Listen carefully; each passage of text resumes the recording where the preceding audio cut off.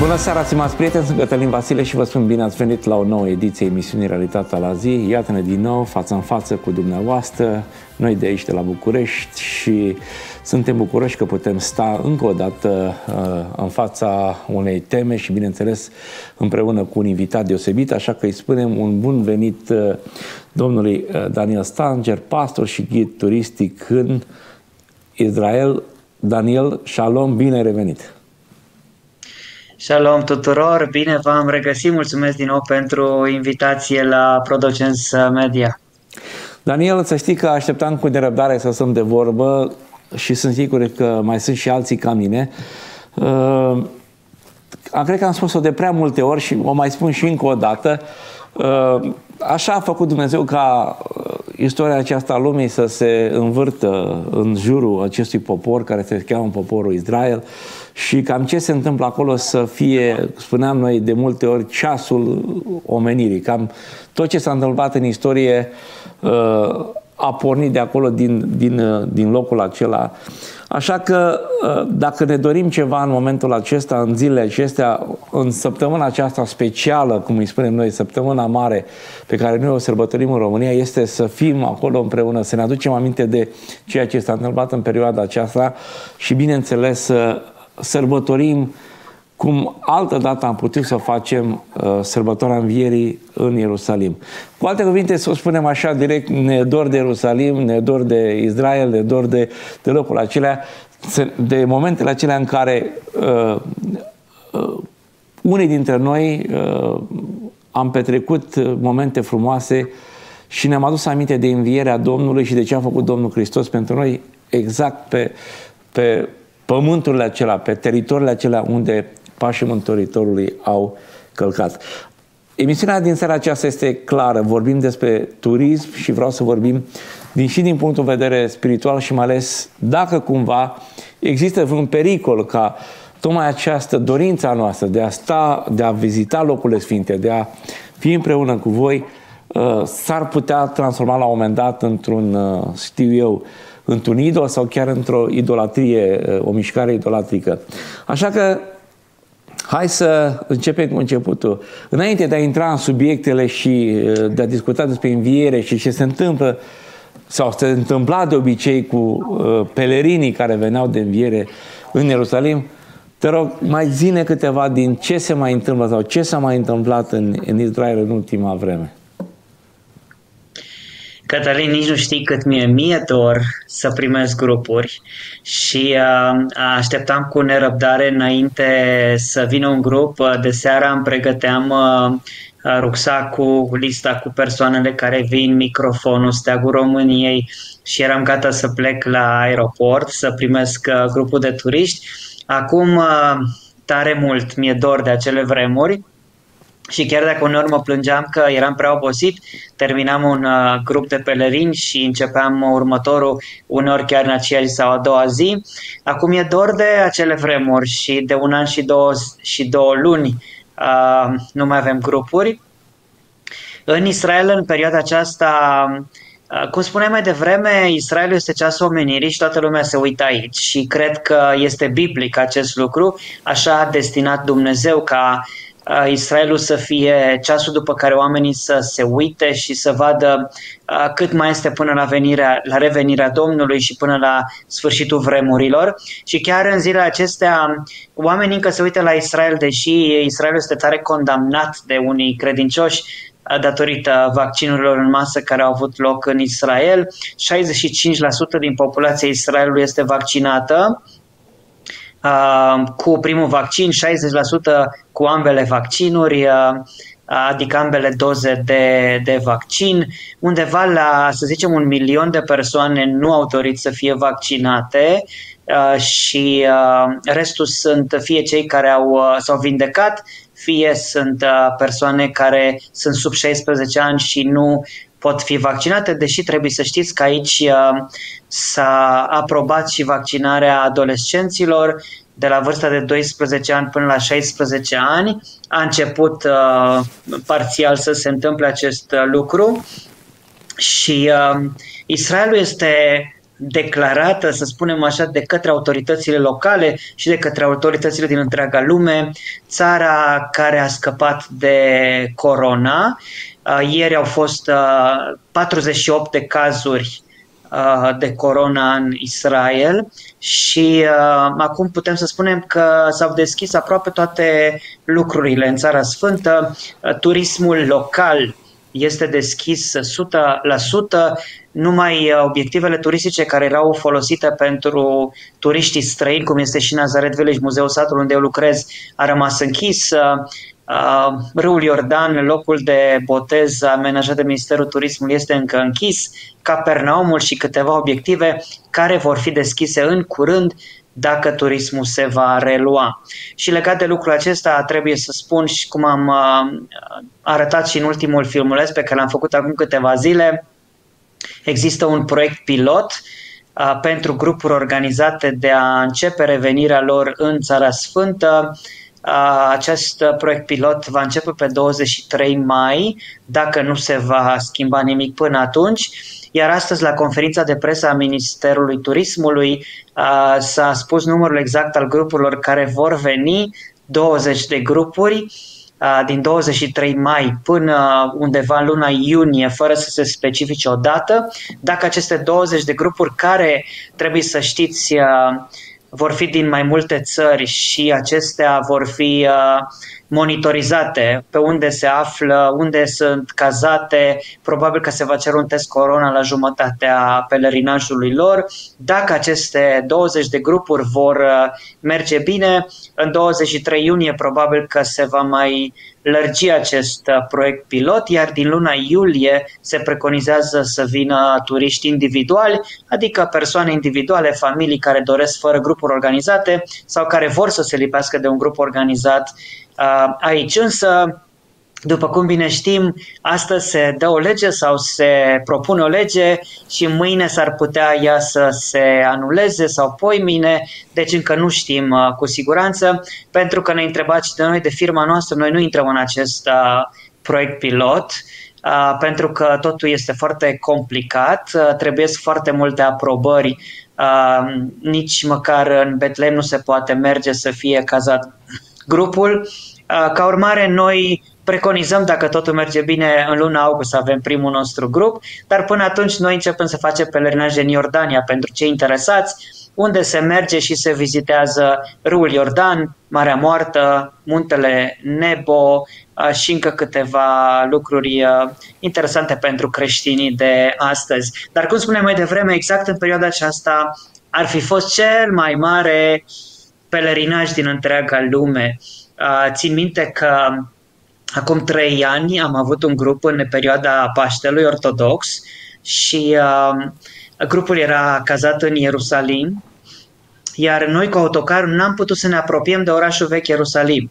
A trebuit să parcăm undeva la 3 sau 4 km distanță de orice apropiere de orașul vechi Ierusalim și de acolo pe jos până în incinta zidurilor, pentru că, având în vedere că era săptămâna mare și foarte multe ceremonii în uh, Ierusalim, uh, totul era închis uh, datorită securității și numai pe jos se putea merge. Cea mai mare, cel mai mare pelerinaj din istoria Israelului se face, bineînțeles, în săptămâna mare și de înviere. Foarte frumos, pentru că uh, Trebuie să recunoaștem uh, un creștin care, într-adevăr, își trăiește viața și uh, a înțeles rolul pe care poporul Israel l-a avut în, în planul acesta de mântuire lui, al lui Dumnezeu cu omul, uh, întotdeauna va fi un om care va iubi poporul Israel, va iubi Țara Sfântă, uh, își va dori să meargă să viziteze, se va simți bine Uh, mergând pe, în toate aceste obiective despre care vorbeai. Și ne dorim lucrul acesta, așa că Uh, unii am făcut-o și o, probabil o facem de mai multe ori în viață, a zice că este și chiar recomand tuturor celor care ne urmăresc în seara aceasta să facă uh, să spunem, efortul acesta. Știu că El Nifla și voi ați fost foarte creativi de-a lungul timpului, ați adaptat, să spunem așa, oferta și posibilitățile la tot felul de de bugete și oameni mai și tineri. Deci, practic, ați găsit o soluție astfel încât uh, acest uh, uh, pelerinat să fie cât mai accesibil tuturor uh, oamenilor și chiar recomand celor care ne urmăresc să facă efortul acesta în viață, odată în viață să meargă în Ierusalim. Nu pentru că ar primi, să spunem, ceva deosebit, că ar veni mai sfinți de acolo, ci pentru că ar avea contact. Și uh, este foarte frumos și vreau să spun că eu mă bucur de experiența aceasta de câte ori citesc din Sfânta Scriptură, să știu exact locul acolo, mi-amintesc, știu, închid ochii și mi-aduc aminte exact unde este Marea Galilei, unde este sau unde a fost templu. Deci sunt lucruri exacte pe care atunci când citești Sfânta Scriptură vezi imaginea în față. E un lucru extraordinar și de-abia așteptăm să se întâmple lucrul acesta. Daniel, uh, ne rugăm pentru voi, stăm aproape de voi și vă încurajăm Uh, sperăm să revenim cu toții și uh, uh, noi de aici vă susținem și stăm alături de voi, de echipa El Nifla și credem că ne vom vedea, cât de curând ne vom vedea cu ajutorul lui Dumnezeu. Ne întoarcem la pelerinaj, la ceea ce înseamnă afluxul acesta de turiști care uh, vin de obicei în Ierusalim, fie de înviere, fie cu alte ocazii.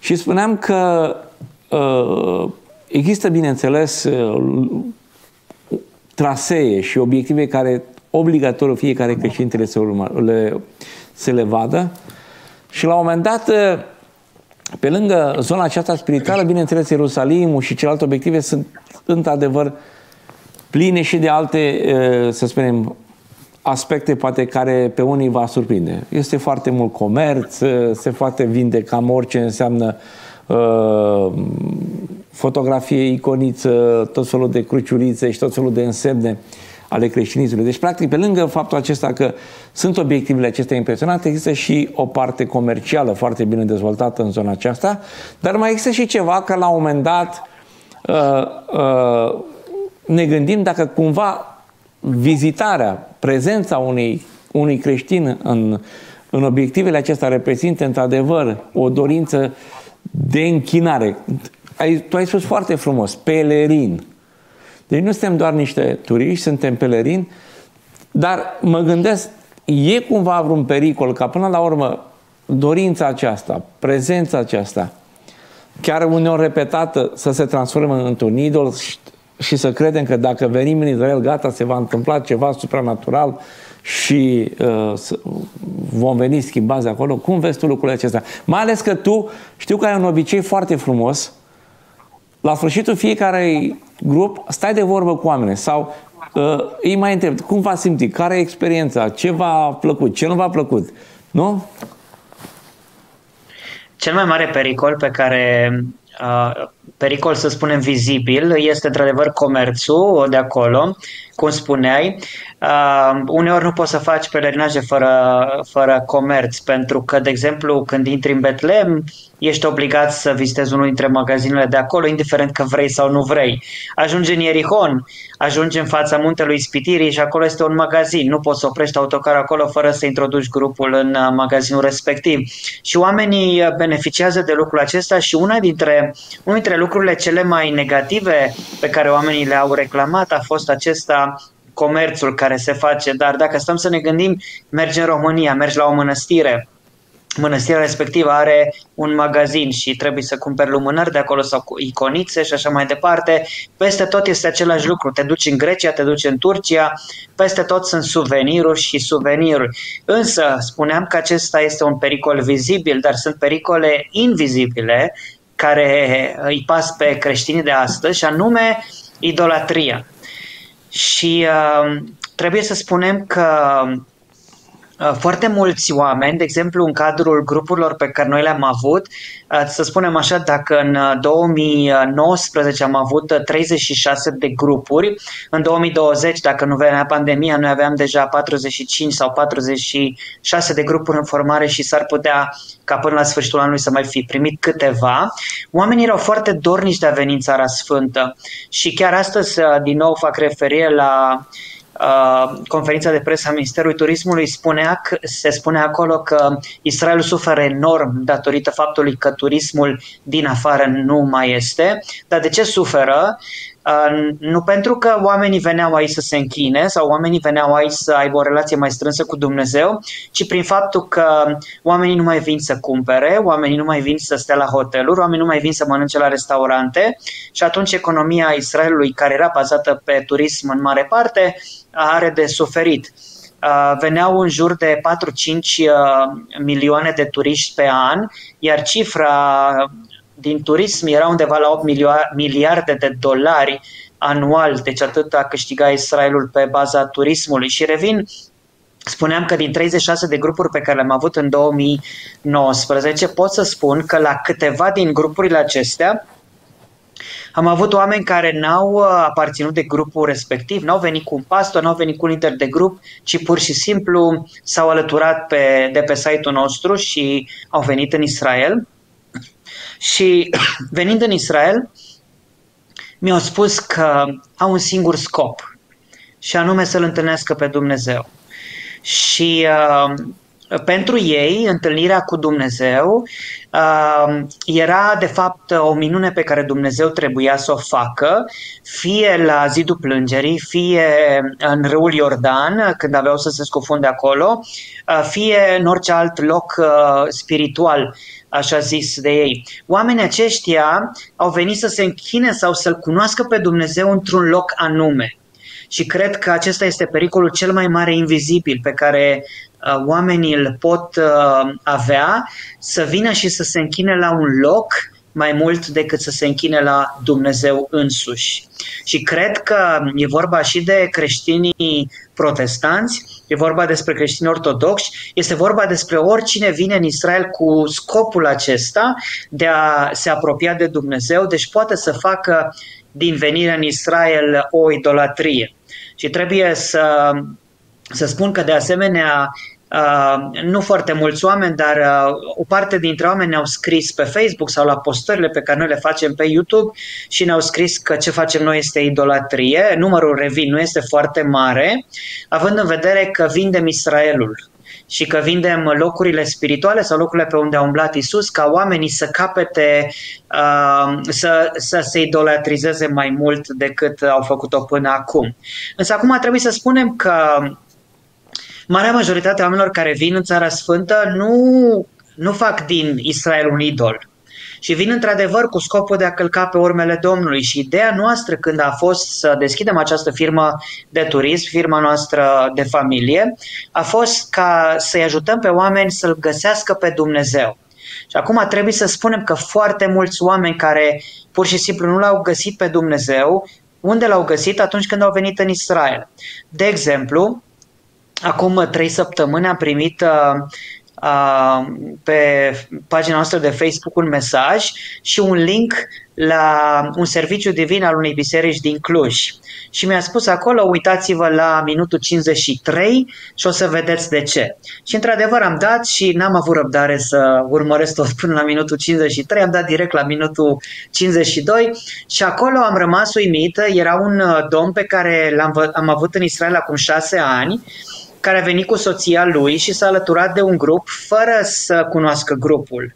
Și venind aici în Israel a spus el în mărturia pe care a avut-o, omul acela se boteza peste trei zile, duminică, iar mărturia lui era de joi. Și în cadrul bisericii, în cadrul serviciului divin uh, de mărturii al botezului, a spus, eu m-am întâlnit prima dată cu Dumnezeu în Israel. Acolo l-am găsit pe Dumnezeu, acum șase ani, acolo am fost expus Evangheliei, atunci când am intrat într-un grup majoritar de protestanți care peste tot pe unde mergeam, citeam din scriptură, ne rugam, peste tot explicațiile erau din Biblie și așa am fost expus cu Evanghelia. Iar prima duminică când m-am întors, spunea el, sâmbătă m-am întors din Israel, iar de duminică am început să merg la biserică și să-L caut pe Dumnezeu. Deci a luat omului respectiv șase ani până să ajungă la concluzia că trebuie să facă și legământul cu Dumnezeu, nu știu. Dar ce voiam să spun este că ideea din spatele acestei misiuni pe care noi am creat-o a fost ca oamenii să-L găsească pe Dumnezeu aici. Și acesta este un, un, unul dintre cazurile care le-aș putea enumera foarte multe acum în seara aceasta, numai că acesta a fost cel mai recent, care mi-a venit în minte și care, la care m-am gândit și m-am bucurat atât de mult că Dumnezeu ne-a folosit și a folosit firma El Nifla pentru ca persoana aceasta să-L cunoască pe Dumnezeu și în procesul acesta Dumnezeu ne-a folosit și, și pe noi. Uh, și revenind la subiectul emisiunii de astăzi, deci uh, Israelul și venirea în Israel poate să fie un idol, însă cel mai, uh, eu cred, după părerea mea personală și după uh, chemarea pe care Dumnezeu ne-a făcut-o nouă ca și familie și ca și firmă, Uh, chemarea este să îi ajutăm pe oameni să se apropie de Dumnezeu, să-L caute pe Dumnezeu și să-L găsească pe Dumnezeu în Țara Sfântă. Nu să facă din Israel un idol. Noi nu vindem uh, și nu mergem la locurile turistice pentru ca oamenii să se închine la un loc anume, ci noi mergem ca oamenii să-L găsească pe Dumnezeu în locul respectiv. Și cred că foarte mulți oameni au făcut lucrul acesta, dar vreau să revin, se poate sau poate deveni venirea în Israel poate să devină un idol, pentru că trebuie să ne gândim ce înseamnă idol, nu?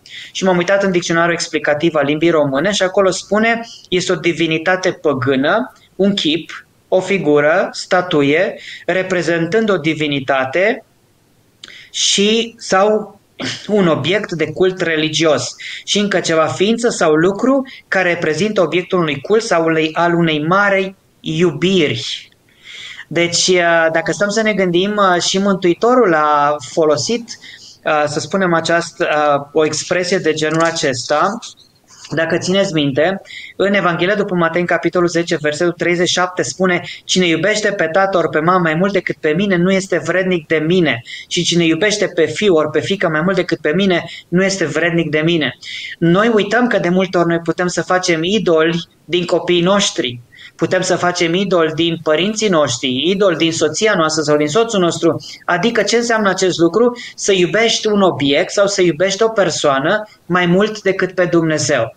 Atunci când în mintea ta este numai Israel, de ce? Pentru că vrei neapărat și dacă nu te închini în Israel, nu poți să trăiești în lumea aceasta, dacă nu mergi la zidul plângerii sau la Biserica Sfântului Mormânt și nu pupi acolo o icoană, nu ești fericit și n-ai împlinire în viață, asta înseamnă că poți să ajungi să iubești locul acela mai mult decât pe Dumnezeu și automat acel loc devine un idol pentru tine și pentru viața ta.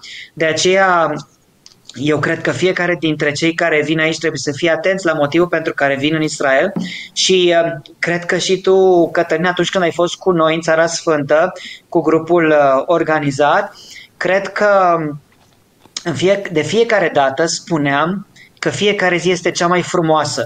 De ce este cea mai frumoasă? Nu neapărat pentru că vizităm un loc anume sau alt loc anume, ci pentru că suntem cu Dumnezeu și călcăm pe urmele lui Isus. Și fiecare dintre noi, atunci când venim în Țara Sfântă, acesta era motoul pe care eu îl foloseam, venim să ne întâlnim cu Dumnezeu. Și spuneam, dacă n-ai venit să te întâlnești cu Dumnezeu în, în, țara, în, în țara aceasta, în Israel, înseamnă că ai, ai cheltuit banii degeaba puteai să stai în România, puteai să-ți vezi de treburile tale, puteai să duci la un hotel de lux în România, însă în Israel vii să te întâlnești cu Dumnezeu. Și uh, dădeam exemplul acela cu femeia samariteancă, o întâlnire divină. Pentru că de fapt asta căutăm cu toții. Nu o închinare la un idol, ci o întâlnire divină pe care o poți avea și acasă. Dar atunci când vin țara sfântă și calci pe urmele Mântuitorului, trebuie neapărat să ai parte de acea întâlnire divină. Și trebuie să spun, trebuie să recunosc, așa cum i-au mărturisit foarte mulți, că într-adevăr au avut acea întâlnire divină în Țara Sfântă și pentru ei n-a fost o idolatrie, ci a fost uh, un mod de a-L întâlni pe Dumnezeu, o spiritualitate a venit în Țara Sfântă și nu altceva. Vreau să menționez în plus ceva față de ce ai zis până acum, Daniel, uh, pentru uh, cei care ne urmăresc. Uh, grupurile pe care tu le organizezi și uh, le conduci uh, au un specific aparte în sensul că, pe lângă faptul că au posibilitatea de a vedea și, da, și stau în locul acela, să fie o părtășie continuă. Tot acest grup, de la început până la sfârșit, este o continuă părtășie. Se începe de dimineața de vreme, uh, plecând cu autocarul, începe cu rugăciune, se cântă în autocar, se cântă, se citește Sfânta Scriptură. Și dau un exemplu foarte practic. Toți știm uh, uh despre lacul Genezaret, Marea Galilei, da? Gândește că tot ce înseamnă parcursul acela de o oră și ceva pe lacul uh, acela, pe Marea Galilei, este o cântare de la început până la sfârșit. Deci o închinare exact acolo uh, pe uh, lacul acela unde Domnul Hristos a mers împreună cu ucenicii. Deci a spune că este o punere deoparte, toată această perioadă este o punere deoparte specială de rugăciune și de închinare, bineînțeles împreună cu alții și uh, ceea ce facem noi aici, că ne închinăm în duș și în adevăr, putem să facem exact și acolo. Și într-adevăr noi știm că ca să ne închinăm lui Dumnezeu nu trebuie să fim într-un loc anume. Dar acolo este și ceva în plus în sensul că avem și imaginea aceea a, a peisajului, a locurilor acelea. Deci, într-adevăr, este ceva deosebit, este o experiență, iar uh, oamenii mai văd ceva, mai văd uh, specificul locului respectiv, modul în care uh, se făcea. Și sunt multe, multe obiective. Gândiți-vă numai la, uh, la ceea ce se întâmplă acolo în zona uh, templului, da? unde a fost templu. Acolo a fost și Avram pe muntele Moria, acolo este și, a fost și templu, acolo va fi noul templu. Zidul plânge. Sunt locuri de o spiritualitate, de o încărcătură unde ai ocazia să întâlnești oameni din toate colțurile lumii. Este un schimb și o experiență. Și cel puțin pleci de acolo întărit. De ce? Pentru că vezi că și alții împărtășesc credința aceea pe care o ai tu. Am fost curios să văd, mi-aduc aminte de niște călugări din Etiopia. Mi-aduc aminte că m-am întâlnit cu ei și am întrebat, dar ce? Erau îmbrăcați într-un mod aparte, ți atrăgeau atenția în ceva ce am venit să ne închinăm. Simplu, atât mi-au zis. Și a fost impresionant. Acum, uh, uh, referitor la ce spuneai, uh, deci ceea ce facem noi nu este turism neapărat. Exact. Uh, pentru că noi am, deci eu aveam serviciul meu și încă am serviciul meu, deși sunt în șomaj acum și de la serviciul meu și de la turism, că era tot în turism. Uh, Ideea a pornit ca o chemare din partea lui Dumnezeu. Nu știu dacă ți-am povestit vreodată sau am povestit celor care ne urmăresc cum am ajuns eu să fiu ghid. Pentru că în urmă cu aproximativ uh, 10 ani, cred că prima dată, a venit un grup de la uh, Biserica Mesianică unde am fost păstor și frații de acolo, înainte de a veni, mi-au spus, auzi Daniel, dar vrem să fii tu ghidul nostru. Și am spus, da, eu nu știu ce înseamnă să fii ghid, că eu n-am fost pe la locurile sfinte decât la câteva. Zic, nu știu dacă vreți să merg cu voi puțin. Zic, pot să încerc. Și au spus da. Și atunci a fost prima dată când m-am dus fără diplomă de ghid, fără școală de ghizi, m-am dus să văd cum e și pur și simplu m-am îndrăgostit. Pentru mine a fost o revelație pentru că am putut să păstorez grupul acela de la aeroport și până înapoi la aeroport. Pentru mine n-a fost numai o ghidare și atunci am primit revelație din partea lui Dumnezeu că aceasta este o chemare, pot să călăuzesc grupurile în Țara Sfântă, fiindu-le păstori și șapte, opt zile sau șase zile cât sunt aici în Țara Sfântă, pentru ei nu este numai o vizită, nu este numai un pelerinaj, ci ei trebuie să fie închinător adevărat. Și cine are datoria asta să-i ajute să fie închinător adevărat? Ghidul, nu? Și atunci eu mi-am am primit din partea lui Dumnezeu că trebuie să fiu ghid și păstor și în felul acesta am început să fac cu grupurile. Tot ce făceam, deci era pregătire dinainte, rugăciune dinainte. Din momentul când îi luam de la aeroport, primul lucru pe care îl făceam în aeroport, număram oamenii ca să fim siguri că n-am lăsat pe freunul în urmă și apoi ce făceam, ne rugam. Uh, fiecare dimineață când plecam de la hotel, ce făceam? Pur și simplu luam scriptura, citeam un psalm sau rugam pe un păstor din grupul nostru, apoi făceam o rugăciune, încredințam ziua în mâna lui Dumnezeu, cântam câteva cântări, era modul nostru de închinare sau de începere a zilei în ziua respectivă și bineînțeles că aceea era cea mai frumoasă zi și nu era nicio idolatrie, nu era o închinare la idol. De ce? Pentru că dedicam ziua respectivă în mâna lui Dumnezeu. Același lucru poți să faci și în România, adevărat, însă Spuneai mai devreme că la locurile sfinte este altceva. Și într-adevăr, când vii aici și când ești pe Marea Galilei pe o barcă, care acum este puțin mai mare decât era odinioară, să spunem așa, dar încep să te simți exact ca și ucenicii, să intri în, în papucilor, să intri în, în pielea lor și să simți ce au simțit ei. Și să fii acolo și mai ales, țin minte, cred că în 2018 eram cu un grup din Statele Unite, cu două autocare și eram undeva în luna februarie și uh, proprietarii bărcii ne-au spus că e vântul foarte puternic și nu știu ce facem și ne-am urcat într-adevăr pe barcă și a început într-o dată să fie un vânt așa de puternic, barca se clătina. Oamenii aveau pelerine de ploaie pentru că și ploua în dimineața respectivă și unii erau așa de speriați și atunci Duhul Domnului mi-a, mi-a pus pe inimă și am citit pasajul cu furtuna pe mare. Și zic că acum aveți ocazia să simțiți ce au simțit ucenicii exact pe mare, când erau pe furtună, exact în corabie și am făcut paralela dintre faptul că Domnul era acolo și am întrebat dacă Domnul este în corabia ta, te poți teme în continuare și vreau să spun că ziua aceea a fost o zi deosebită. Toți oamenii, când au plecat de, înapoi în Statele Unite, au spus, Daniel, a fost cea mai faină experiență a vieții noastre și am înțeles pasajul din Scriptură acum. Cum este să fii pe Marea Galilei, cum este să fii într-o furtună, deși trebuie să recunoaștem, nu a fost prea mare furtună, dacă barca uh, a început să se legene puțin și ploua de sus, asta nu era, n-a fost furtună, probabil că n-am simțit nici 30% din ce au simțit ucenicii în vremea respectivă. E ca și cum astăzi, noi, de exemplu, aici în Israel, am fost închiși, am avut uh, de trei ori carantină, n-am putut să ne adunăm în cadrul uh, serviciilor divine la biserică sau la sinagoga unde mergem noi și totul a fost pe Zoom. E, imaginați-vă, vă rog, un an de zile să privești numai pe Zoom, să te rogi cu oamenii pe Zoom și acum uh, avem imediat întâlnire de rugăciune pe Zoom și uh, dintr-o dată să poți să te duci să te întâlnești cu oamenii. Nu e așa că este altceva atunci când te duci să te întâlnești cu oamenii în cadrul comunității. Păi bineînțeles că atunci mergi și îmbrățișezi pe toți, uh, mergi și cânți cu toată inima ta. Este altceva decât a fost pe Zoom. Așa este și cu venirea în Țara Sfântă. Când ești la locurile sfinte și când te rogi lui Dumnezeu acolo, nu te închini unui idol, ci pur și simplu intri în pielea personajelor din scriptură, simți ce au simțit personajele din scriptură și înțelegi cu alte cuvinte scriptura. Unul dintre frații cu care ai fost în uh, pelerinaj în urmă cu câțiva ani era profesor de, de Vechiul Testament și spunea după ce a plecat de aici Daniel, de-abia de acum pot să încep să predau Vechiul Testament. După ce am fost în Israel, după ce am văzut locurile uh, pe unde au fost înaintașii noștri și prorocii, acum pot să văd și să înțeleg distanțele dintre Betlehem și Ierusalim și toate lucrurile acestea și mi-e mult mai ușor să predic mi-e mult mai ușor să, să predau acum după ce am văzut locurile acestea.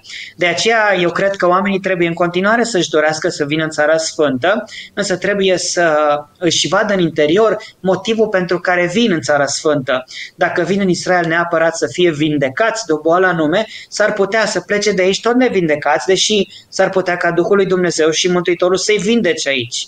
Dacă cineva vrea ca viața lor să fie schimbată dintr-o dată și să vină în Israel doar ca viața lor să fie schimbată, s-ar putea să aibă parte de acest lucru, dar s-ar putea să nu aibă parte de acest lucru.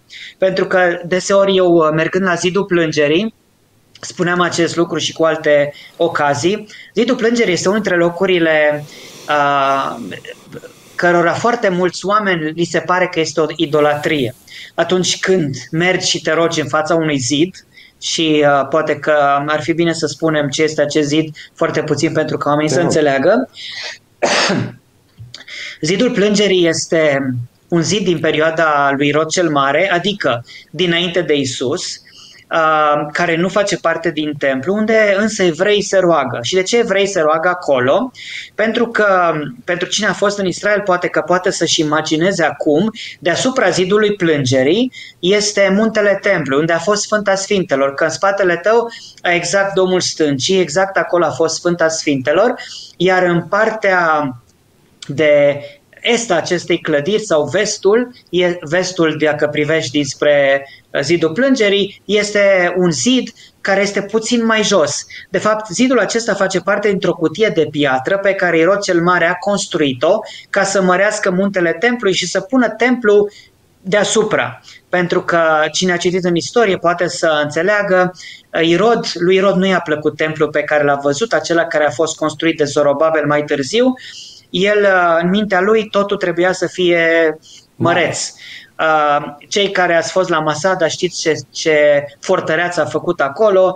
La Herodion, de exemplu, unde nu merge foarte des cu turiștii noștri, puțin mai departe de Betlehem, la 7-8 km de Betlehem, acolo o altă fortăreață a lui Rod făcută de el și acolo a fost construit mormântul lui. Un mormânt care era exact ca o fortăreață. Uh, dar el a, a fost grandoman, deci a, ce a făcut a vrut să facă mare. Și el când s-a uitat la templu pe care l-a construit Zorobabel a spus nu se poate așa ceva.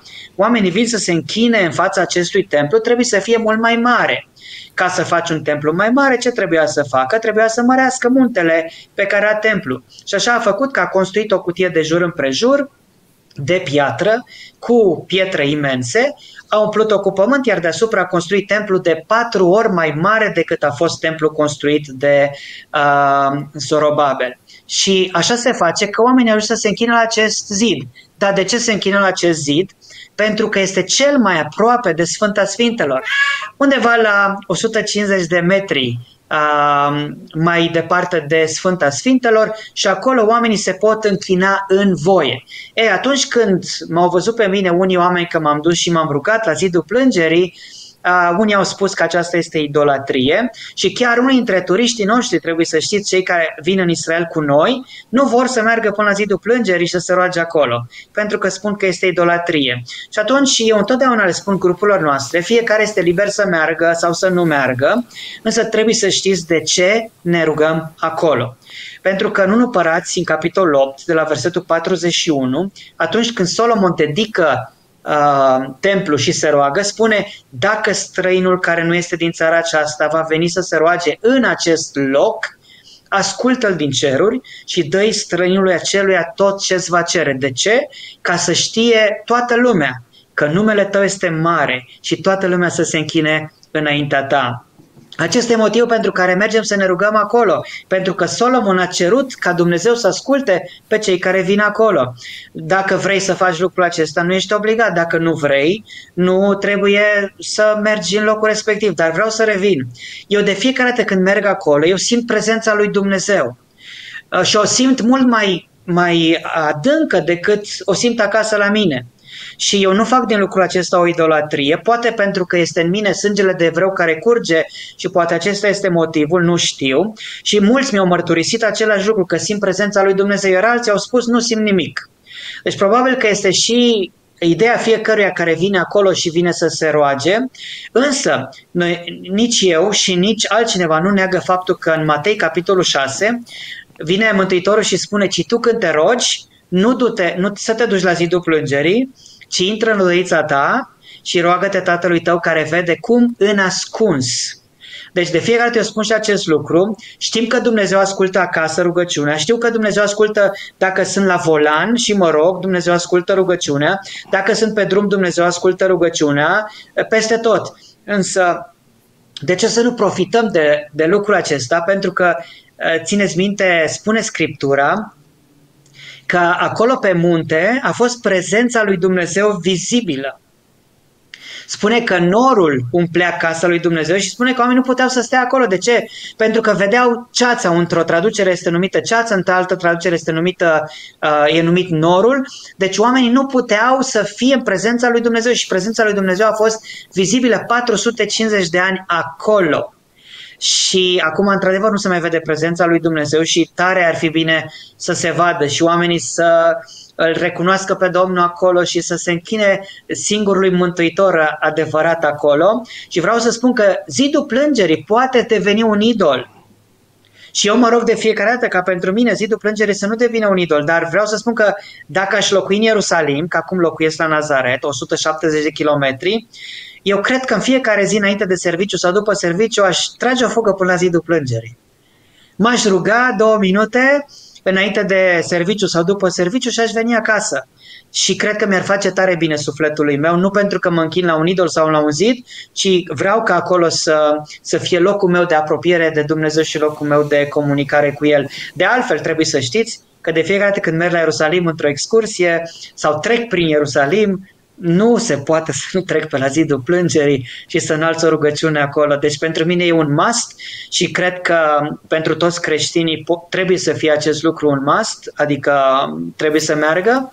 Însă revin, zidul plângerii ca și alte obiective turistice pe care poate o să le mai menționăm acum dacă avem timp, pot deveni obiecte de cult sau pot deveni uh, idoli în fața căruia să te închini și să iubești acel zid mai mult decât pe Dumnezeu însuși. Și acest lucru e păcat și e idolatrie.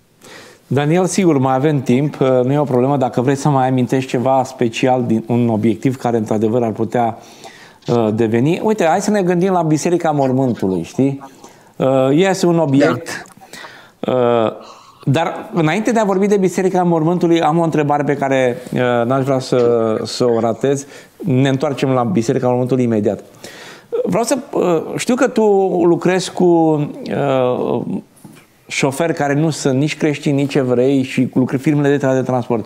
Vreau să-mi spui cum ne văd ei pe noi românii, că uh, de fiecare dată au avut ocazia să se întâlnească cu români. Din punct de vedere al mărturiei, aș vrea să aud și părerea lor celor care tu lucrezi și uh, impresia pe care și-au făcut-o ei despre noi, despre cei care au venit cu tine în grupurile noastre. E, acum îmi pare rău că nu am mărturia unui șofer să spună el personal ce crede.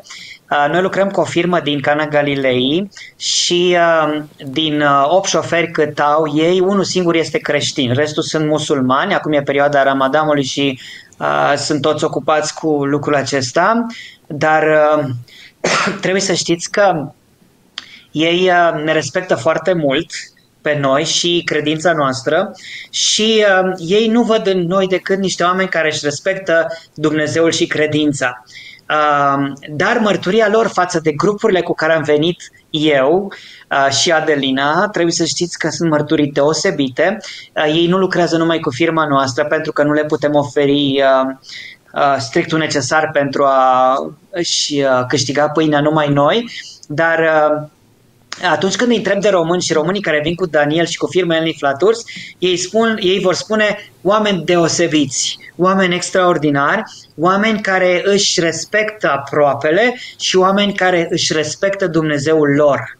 Eu am rămas uimit să aud lucrul ăsta și trebuie să știți că de foarte multe ori această mărturie pe care o am, de multe ori după ce plec de la aeroport cu ei, ne întoarcem în uh, zonă, dacă unul dintre noi nu e prea alt grup, pentru că Cana Galilei este la 7 km de Nazaret și de la aeroport avem o oră și jumătate până acasă. Și unul dintre subiectele preferate atunci când ne întoarcem spre casă este Dumnezeu. Și de ce? Pentru că eu încep să întreb cum a fost grupul și uh, pe lângă faptul că sunt mulțumiți de uh, bacșișul pe care îl primesc ca și șoferi, sunt mulțumiți de atitudinea pe care o oamenii față de ei. Uh, de regulă trebuie să știți că uh, ei ca și șoferi, nu sunt priviți foarte bine de către alți oameni. Și sunt foarte mulți oameni care vin din alte țări, care sunt cu nasul pe sus, să-mi scuzați expresia, care îi consideră cumva uh, slujnicii lor sau uh, oameni care trebuie să-i slujească până la capăt.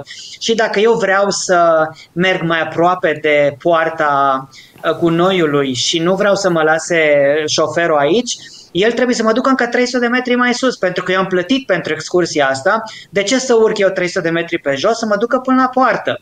Și foarte mulți au ideile acestea. Am avut toate un grup din Statele Unite care uh, s-a purtat foarte urât cu șoferii, cu șoferul nostru din acest punct de vedere, uh, dar românii, să știți că lasă loc de bună ziua. Deci tratăm subiectul despre Dumnezeu și eu le spun atunci, știi de ce au fost oamenii aceștia așa de amabili? Uh, un, alt, un alt lucru care îi lasă, să zicem așa, cu gura căscată este că românii noștri lasă curat în autobuz. După alte grupuri, și mai ales după localnici de aici, trebuie să strângă saci întregi de gunoi, de sticle de plastic după ce și-au băut apa, însă românii, foarte interesant. Deci românii cer pungi de plastic și adună gunoi din autocar și când pleacă seara la hotel, iau punga cu gunoi și o aruncă afară.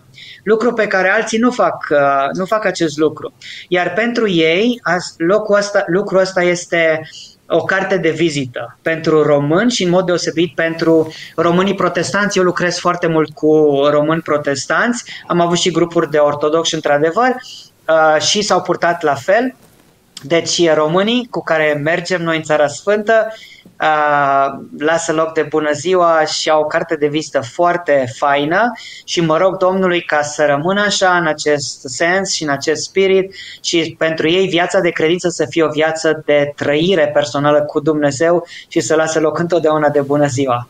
Slavă Domnului! Confirm și eu lucrul acesta, Daniel, Cred că ți-am trimis la un moment dat o poză. Eram pur și simplu într-o, într-o vizită la o conferință Uh, organizată de uh, agenția de presă izraeliană și am, am avut o, așa un traseu pe lângă cum, întâlnirile pe care le aveam și un traseu până la uh, Muntele Fericirilor. Pur și simplu erau oameni din toate țările și bineînțeles am avut ocazia să mă întâlnesc cu unul dintre șoferii cu care tu lucrai. Eu am recunoscut compania și mi-am dat seama că e de fapt firma cu care tu lucrezi, dar am întrebat și am avut o discuție foarte frumoasă și omul a fost încântat să vadă un român, un cineva care îl cunoaște pe Daniel și bineînțeles el Nifra. Așa că a fost o bucurie de ambele părți și confirm faptul că într-adevăr impresia pe care bă, o au despre noi, despre români, este foarte bun. Deci mărturia, până la urmă, îți spune cuvântul. Lavă Domnului și că lucrul acesta contează. Fiind musulmani,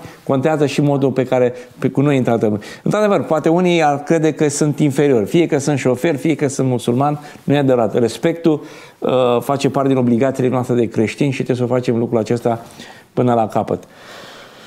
Uh, Daniel, ne întoarcem la Biserica Mormântului. Uh, și cred că trebuie să lămurim, dacă toți suntem în perioada asta, hai să spunem cele două obiective. Și grădina mormântului, uh, chiar am avut o, o, o înregistrare puțin mai devreme în care am folosit fotografia cu uh, mormântul din uh, grădina mormântului, cum mi se spune, și mi-am adus aminte de momentele acelea.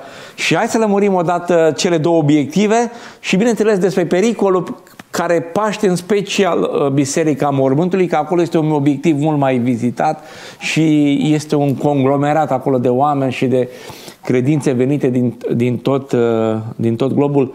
Uh, ce putem să spunem despre aspectul ăsta? Apropo, cred că tot astăzi sau mâine o să repostăm și noi filmulețul de anul trecut cu Grădina Mormântului, pentru că românii sunt în săptămâna mare și oamenii să-și aducă aminte din nou de Grădina Mormântului. Foarte pe scurt, Grădina Mormântului este o grădină, așa cum spune și numele, care a fost descoperită undeva în secolul XIX de către un uh, englez uh, care s-a numit Gordon, fără nicio referire la Garden sau la Gordon, acesta era numele lui și este o grădină, pentru că vizitând grădina mormântului, el a spus, eu nu cred că acesta poate să fie locul. Și vreau să fac o referire, ce spun acum este ce a zis Gordon despre Biserica Sfântului Mormânt, zice trebuie să existe altceva. Și uh, făcând cercetări a descoperit o grădină lângă poarta Damascului, este în afara zidurilor cetății, o grădină foarte mare care are un deal care seamănă foarte mult cu uh, un craniu și spune Biblia că Mântuitor a fost răstignit uh, la Golgota sau la locul care s-a numit Golgolet. În limba aramaică este craniu sau căpățână și uh, acolo s-a descoperit de asemenea o grădină și un mormânt săpat în stâncă. Printre alte morminte, în spatele acestui mormânt și de desubtul acestui mormânt sunt zeci și sute de astfel de morminte.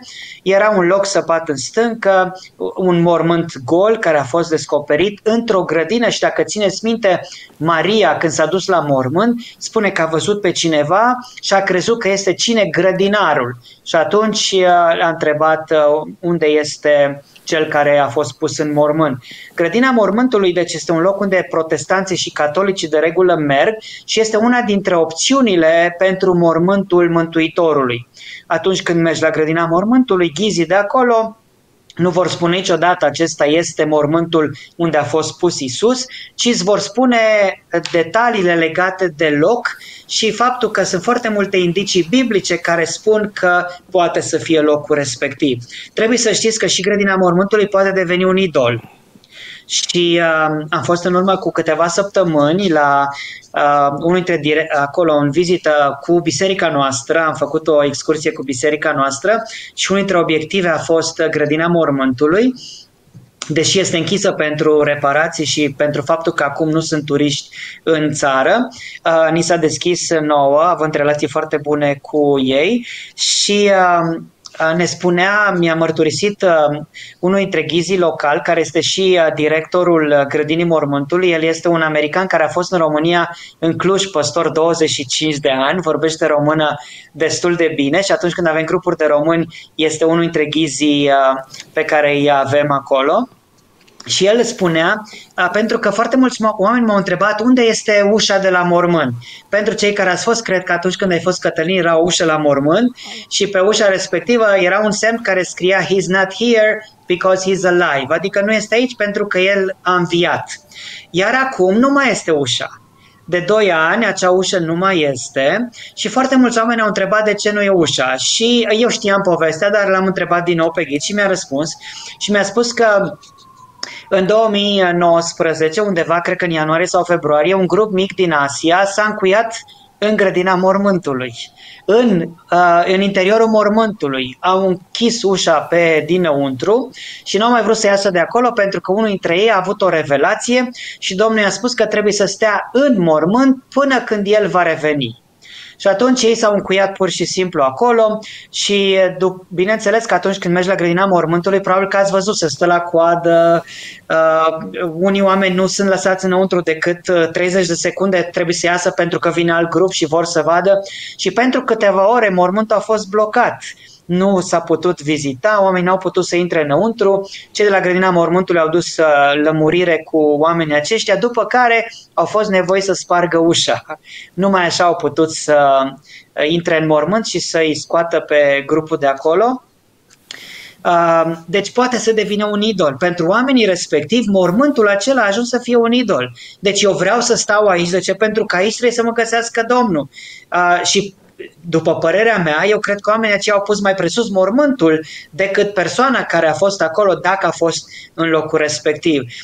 Pe lângă asta, tot ghidul de acolo ne-a mărturisit că foarte mulți oameni vin cu daltă și încep să spargă piatra de, din jurul mormântului sau piatra unde se spune că Domnul a fost așezat, să ia cu ei o bucățică mică de piatră, să o ia acasă cu ei ca un suvenir și atunci când se roagă să o țină în mână și se roagă, bineînțeles, având piatra respectivă în mână. Iar lucrul acesta mă face iar să mă gândesc că pot să, poate să devină un idol, un loc care e vizitat de protestanți, poate să devină un idol pentru foarte mulți oameni, chiar și pentru protestanți care în viața lor nu s-ar închina la un idol, dar fac din acel loc un idol fără să-și dea seama. Și asta vreau să spun că pericolul e invizibil. Să-ți faci din turul în Israel un idol uh, fără să-ți dai seama, fără să te gândești că locul acela poate deveni un idol. Aceasta e cu privire la grădina mormântului. Acum ne ducem la Biserica Sfântului Mormânt, uh, despre care ai întrebat și pentru cei care n-au fost sau pentru cei care au fost și au nelămuriri, pentru că în mintea multora este de ce sunt două morminte, uh, că a fost un singur mântuitor, nu-i așa?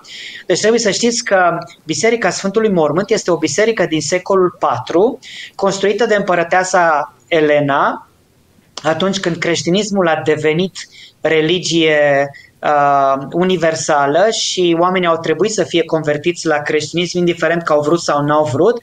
Ea a construit uh, patru biserici, printre care una este aceasta, la Biserica Sfântului Mormânt, iar ea pretinde că în cadrul uh, uneia dintre peșteri au găsit trei cruci.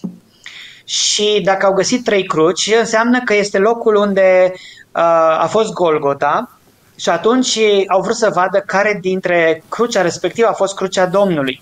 Pentru că în Evanghelie se spune că Domnul a fost răstinit alături de doi tâlhari, deci ca urmare au fost trei cruci.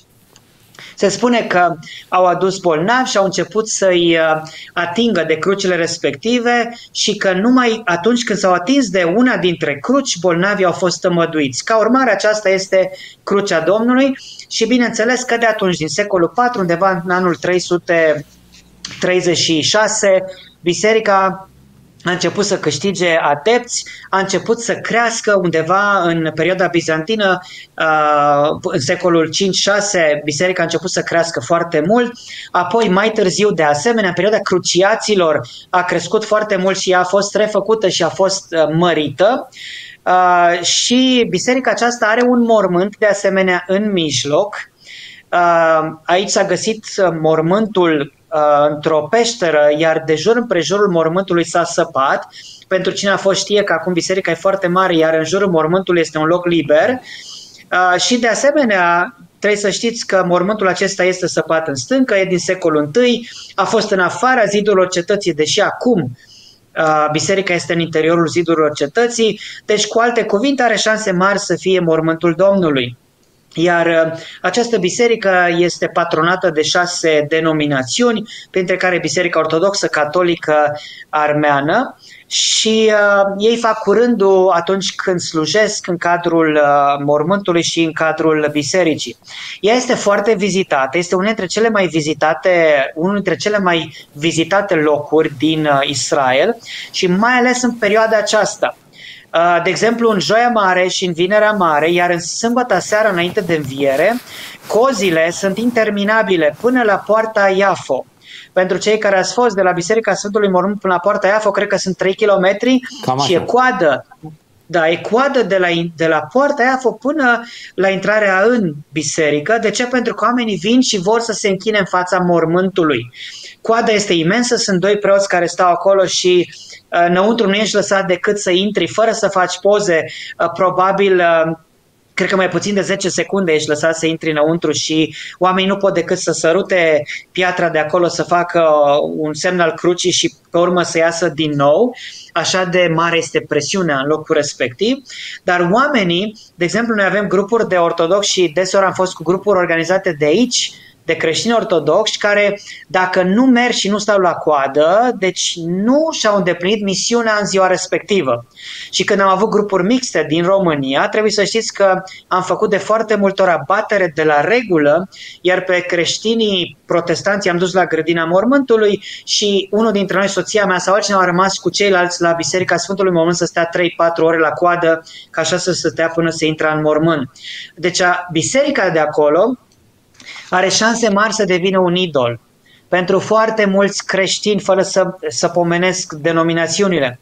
Pentru cei care ați fost știți că există și piatra Ungerii, uh, care este aproape de intrare, iar oamenii vin și cu toate suvenirurile lor, care le-au cumpărat, de regulă foarte mulți aleg ultima zi a pelerinajului să facă Biserica Sfântului Mormânt. De ce? Că și aduc toate suvenirurile cumpărate și pur și simplu răstoarnă punga, sacoșa cu suveniruri pe piatra Ungerii, se roagă pentru ele, după care le iau înapoi și spun că sunt sfințite și le duc acasă. Și acum trebuie să spun că, după părerea mea, lucrul acesta este pură idolatrie să sfințești aceste lucruri pe piatra ungerii și vreau să spun celor care ne ascultă, pentru că majoritatea ghizilor nu spun acest lucru, undeva în secolul XIX biserica a ars în proporție foarte mare, iar piatra ungerii a fost arsă aproape în întregime și a fost înlocuită în secolul XIX, deci piatra de ungere de astăzi e una adusă în secolul XIX și pusă acolo, nu este nici de cum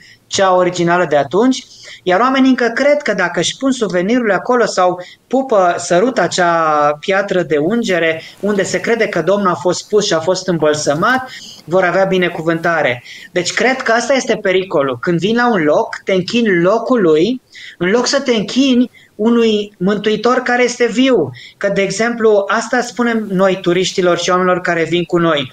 Oameni buni, nu contează dacă Biserica Sfântului Mormânt e locul mormântului sau grădina mormântului, ce contează? Ambele morminte sunt goale. Noi nu ne închinăm la un loc, nu ne închinăm la un mormânt, nu ne închinăm într-o biserică, ci ne închinăm unui mântuitor viu. Nu contează care dintre acestea a fost mormintele, contează că el este viu și este... De aceea la Paște eu nu spun numai Hristos a înviat, ci spun Hristos a înviat și este viu în vecii vecilor. Și putem să spunem expresia aceasta în fiecare zi a anului, pentru că nu acum, nu acum o săptămână, și apropo de lucrul acesta, creștinii din Europa de răsărit sărbătoresc acum săptămâna mare și învierea. Dar știți că noi în Israel am avut Paștele și învierea în, uh, la începutul lunii aprilie, 27 martie a început Paștele și dacă pe 14 Nisan a fost răstinit Domnul, normal, a treia zi trebuia să învieze. Deci după 27 martie, trei zile trebuia să fie învierea. Dar nu contează nici atunci, nici acum. Ce contează? E viu și este la dreapta lui Dumnezeu și mijlocește pentru noi. Slavă Domnului Daniel, extraordinar, extraordinar. Îmi place cum, uh, cum uh, prezint lucrurile și uh, cred că e prima dată când cineva prezintă pericolele acestea, cum ai spus tu, invizibile. Înainte de a încheia, uh, mai am un singur, uh, un singur uh, să spunem, motiv de idolatrie pe care uh, cei care vor veni s-ar putea să-l întâlnească. Există Via Dolorosa și tu știi foarte bine ce înseamnă Via Dolorosa. Uh, există chiar două uh, variante. Acum, dacă ne gândim ce a însemnat uh, Via Dolorosa plecând de la grădina mormântului, da? Sau la biserica mormântului, Hai să vorbim totuși de oamenii aceia care în perioada aceasta cară poveri mari și cruci și uh, uh, se căsne să refacă oarecum drumul acela pe care Domnul Hristos l-a făcut? Um, Cât poți tu? Da, nu, că e un subiect foarte și delicat, dar și un subiect lung. Via Dolorosa trebuie să spunem uh, celor care urmăresc ce este. Um, este un drum al crucii uh, care a fost uh, inventat, să spunem așa, de Dumnezeu prima dată, pentru că pe drumul crucii a mers Mântuitorul cu crucea în spate, însă undeva în secolele, cred, dacă nu mă înșel, în secolul XII, că acum dacă de un an și câteva luni eu nu mai merg, am, mi-au ieșit din minte datele și secolele, trebuie să mă pun din nou pe citit și pe studiat, uh, în Spania, pentru că uh, creștinii catolici nu nu aveau ocazia să vină în Țara Sfântă să meargă pe urmele Mântuitorului, au uh, făcut Via Dolorosa, care înseamnă drumul crucii, cu 14 stații. Fiecare stație are uh, o simbolistică anume și unele stații sunt biblice, de exemplu, întâlnirea cu fiicele Ierusalimului uh, este sărbătoare biblică sau întâlnirea cu Simon din Cirena uh, sau judecata lui Pilat, dar sunt și stații care sunt uh, Uh, tradiționale, care nu sunt biblice, cum ar fi întâlnirea cu Maica Domnului. Uh, nu ni se spune nicăieri că pe drumul crucii Domnul s-a întâlnit cu Maica Domnului, sau uh, vălul Veronicăi, uh, unde spune că Veronica a șters sudoarea uh, Mântuitorului și de atunci este una dintre stațiile acestea, iar în Torino există vălul acesta pe care s-a impregnat fața Mântuitorului. Uh, iar astăzi este, adică să spunem așa, undeva în secolul 18-19, când pelerinii au început să poată veni în Țara Sfântă, Via Dolorosa s-a mutat în Ierusalim. Și atunci prelații au stat și au discutat unde să fie Via Dolorosa. Și au început cu fortăreața Antonia, unde se știe cu siguranță că acolo Domnul a fost judecat. Acolo a fost Pilat, Acolo erau uh, mari oameni ai vremii respective, în mod deosebit în sărbătoarea Pesachului, deci nu avea unde să fie în altă parte. Și începe de acolo, însă nu se știe pe ce drum merge pentru că, cum spuneam mai devreme, sunt două morminte și până la stația 3-4 drumul crucii este aceeași, iar de la stația 3-4 în partea dreaptă se merge spre poarta Damascului și spre grădina mormântului, iar în partea stângă se merge pur și simplu spre Biserica Sfântului Mormânt. Având în vedere că nimeni nu știe care este mormântul, nu știm nici pe unde a mers Via Dolorosa. Însă trebuie să mai facem o remarcă anume că Via Dolorosa de astăzi nu este Via Dolorosa de atunci. Ce știm astăzi este numai începutul viei Dolorosa, unde Domnul, Domnului s-a pus crucea în spate, iar de acolo nu se știe pe ce drum a luat-o. Pe lângă asta, drumurile din perioada Mântuitorului sunt undeva la 7, 8, chiar 10 metri de desubtul drumurilor de astăzi. Pentru că în 2000 de ani s-a acumulat pământ, gunoi și așa mai departe. Uh, au fost uh, zidurile și casele dărâmate și în Israel nu s-a excavat ca să se facă din nou, ci pur și simplu s-a stopat cu pământ și s-a construit deasupra. De aceea, drumul de astăzi al Viei Dolorosa este foarte sus față de drumul de atunci. Însă, noi de regulă când facem Via Dolorosa facem parțial și mergem spre grădina mormântului pentru că noi credem că acolo sunt șanse mai mari să fi fost mormântul, dar pentru cine dorește, bineînțeles, se face Via Dolorosa întreagă, spunând aceste lucruri că această Via Dolorosa nu știm dacă a fost adevărată, dacă nu, dar important e nu ne închinăm la un drum, ci ne închinăm la cel care a fost pe drumul respectiv. Însă, foarte mulți de astăzi și în mod deosebit în tradiția catolică și în Vinerea Mare la catolici când a fost, deci a fost uh, uh, o, un marș foarte important și foarte mare, oamenii iau o cruce efectiv în spate. O cruce care are în jur de 2 metri și jumătate de înălțime, pentru că trebuie să aibă cam aceeași mărime cu crucea pe care a stat Mântuitorul, o iau și la fiecare stație se opresc, citesc un verset din scriptură sau cântă o strofă de cântare, alți doi, trei oameni iau crucea în spate și merg. De ce? Pentru că ei vor să simtă ce a simțit Mântuitorul cu crucea în spate. Însă aș vrea din nou să revin, crucile de astăzi sunt uh, așa de finisate încât uh, eu singur, care nu sunt așa de mare și nu sunt așa de sportiv, pot să iau crucea și pot să merg toată via dolorosa cu ea în spate. Dar pe vremea Domnului trebuie să ține minte, crucea a fost de fapt un fel de pom uh, fără să fie finisat, probabil marea majoritatea oamenilor spun că ar fi avut undeva la 30 de kilograme numai bârna uh, paralelă care a fost pusă, da, transversală, pentru că se pare că folosea un pom uh, ca și uh, bârnă unde atârnau omul respectiv. Deci imaginați-vă să mergi pe drumul acela cu 30 de kg în spate după ce ai fost bătut, după ce ai fost batjocorit, pălmuit, scuipat în față și mai ales cei care ați fost știți că pe Via Dolorosa sunt uh, uh, sunt uh, chioșcuri și pe o parte și pe alta, oamenii vând, oamenii cumpără. Credeți că în vremea Domnului Isus nu era același lucru? Era același lucru. Unii habar nu aveau ce se întâmpla atunci când trecea Domnul Isus. Probabil că unii se târguiau pentru o eșarfă care trebuia să o poarte în săptămâna următoare la templu sau poate că unii se târguiau pentru un animal de jerfă, exact când Domnul trecea pe acolo cu crucea în spate. Iar astăzi este la fel, acela este cel mai periculos uh, drum comercial Uh, iar noi am pierdut de foarte multe ori oameni acolo. De ce? Pentru că în timp ce noi mergem pe Via Dolorosa și ne amintim de suferințele Domnului, oamenii aceia se opreau să bea suc de rodie, oamenii aceia se opreau să-și cumpere o cruciuliță suvenir de pe Via Dolorosa și așa mai departe. Și ca să vă dați seama cât de important era Via Dolorosa pentru oamenii respectiv dacă aveau timp să bea un suc de rodie. Și de foarte multe ori am, am pierdut turiști. Via Dolorosa este un alt drum care poate să devină idolatru. Daniel, extraordinar. Uh, avem multe de discutat și mă bucur că putem să facem lucrul acesta. Cu siguranță uh, vom face și data viitoare, vom discuta.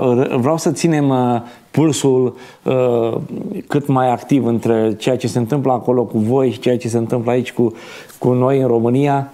Așa cum spuneam, încercăm să sublim cât de cât să ținem flacra aceea aprinsă a interesului pe care uh, noi, creștinii din România, îl avem pentru locul acesta. Lavă Domnului că uh, sunt speranțe că se vor îmbunătăți lucrurile și uh, mai devreme sau mai târziu vom putea reveni. Până atunci, într-adevăr, haideți să ne concentrăm, stimați prieteni, pe ceea ce înseamnă uh, uh, locurile sfinte și mai ales pentru ceea ce înseamnă cel care a făcut ca locurile acelea să fie sfinte. Să nu ne închinăm locului, ci celui care a pășit pe acele locuri.